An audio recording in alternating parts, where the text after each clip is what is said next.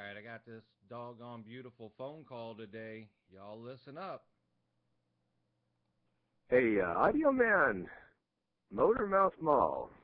I don't have any fancy uh, echoes or angel uh, angelic music to put in the background, but just wanted to call you from the other side over here and let you know everything's all well and swell.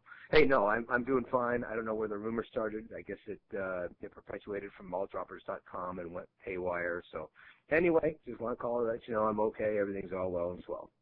Take care and thanks for the concern. I do appreciate it. We'll get you on the band soon. Motor Mouth Maul got down. There you go. My brother is alive. He's doing great. Y'all need to watch what you say on Facebook because this blew up all over Facebook, blew up all over Pal Talk, and got everywhere. Everybody was worried about this man. But Motormouth Maul obviously is fine as wine because uh, I got that phone call this afternoon. Unfortunately, I couldn't get by my phone five minutes sooner. But just watch what you say out there because I don't ever want to have to put a reversed doggone message on Facebook or YouTube.